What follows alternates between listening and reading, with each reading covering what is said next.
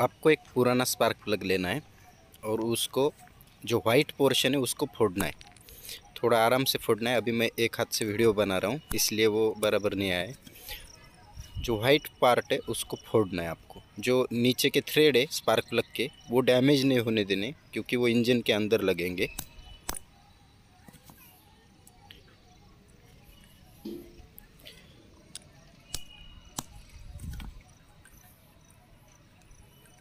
इसको फोड़ने के बाद अपने को वाइस में लगाना है और ऊपर की जो लाइन है उसको घिसना है।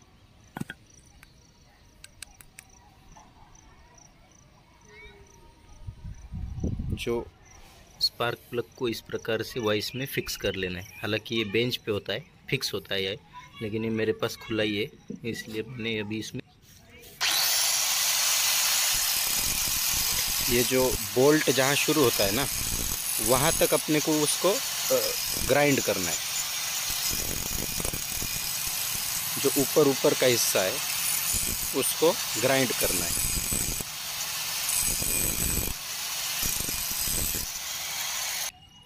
फिर उसको उल्टा करके जो इलेक्ट्रोड है, उस पर मारेंगे तो वो अंदर का वाइट निकल जाएगा। अभी उसके अंदर वही सेम साइज़ के वॉशर अंदर ठोक देने के मतलब अंदर घुसा देने के उसके। ताकि जो हम रॉड डालेंगे उसके अंदर वो बराबर से मूव होगी हो जाएगी। मतलब बेंड क्रॉस ना स्लाइड हो। ऐसे दो, दो तीन वॉशर उसके अंदर लगा देना है। एक बोल्ट को उल्टा करके भी उसको अंदर अंदर तक ढकेल देना है ताकि हम थोड़ा उसके अंदर पाइप लगा सके थोड़ा ऊपर। इस प्रकार से बन जाने के बाद उसके अंदर पाइप लगाना है, वेल्डिंग करना है। ये रॉड मैंने स्क्रैप से लिया था।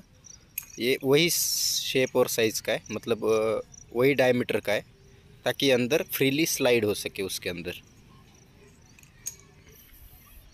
इस मैंने इसमें एक पाइप डाला और यहाँ पे गैस फीडिंग मार दी पूरी। यहाँ पे फ़ाइल से थोड़ा पोर्शन कट कर दिया है और यहाँ पे जो वॉशर है, वो यहाँ पे वेल्ड कर दिया है। अब इसको मैं फिनिशिंग दूँगा घिस के थोड़ा सा। अब ये जो रॉड है तो ये इसमें इस तरह से चला जा रहा है, देखिए। अब इसको सिर्फ़ फिनिशिंग देना बाकी है।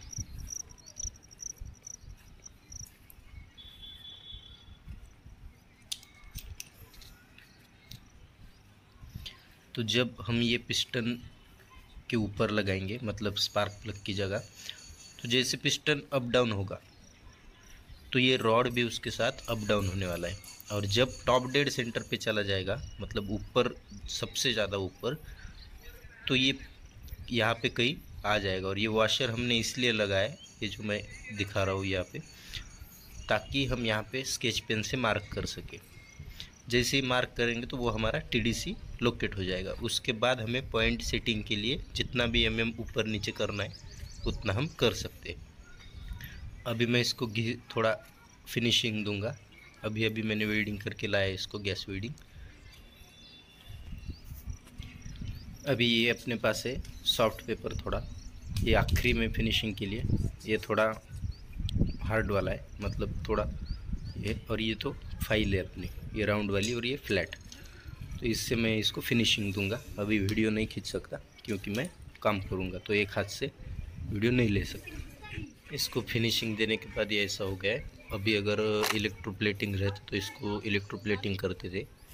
लेकिन अभी उसकी कोई ज़रूरत नहीं, उसको थोड़ा कलर कर देंगे, ठीक हो जाएगा ये। लेकिन इसका फंक्शनिंग बराबर चालू है। इसको भी मैंने घिस के राउंड कर दिया है।